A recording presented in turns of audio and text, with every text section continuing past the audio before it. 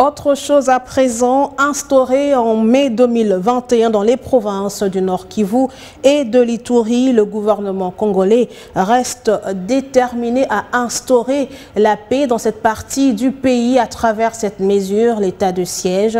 Le Premier ministre Jean-Michel Samaloukonde a réuni ce mercredi à la primature quelques membres euh, du gouvernement et quelques députés nationaux. Objectif, examiner les recommandations de la Commission défense et sécurité de l'Assemblée nationale sur cette question pour euh, permettre au gouvernement d'atteindre les objectifs assignés à cet état de siège. Fait, les échanges avec le Premier ministre aujourd'hui ont porté euh, tout simplement sur euh, l'état de siège décrété par le président de la République en Ituri, mais aussi au Nord Kivu.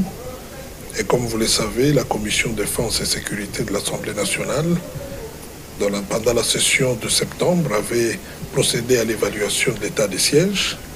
Il y a des recommandations qui avaient été faites au niveau du gouvernement.